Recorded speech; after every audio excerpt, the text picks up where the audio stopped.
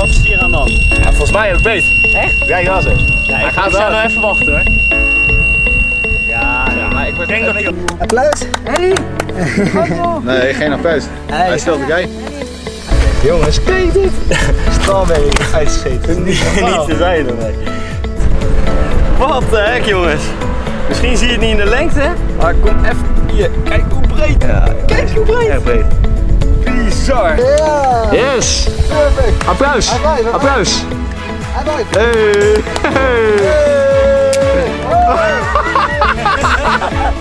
Jongens, dit is echt niet te geloven. Hoe mooi deze vis is. Ik neem hem denk ik mee naar huis.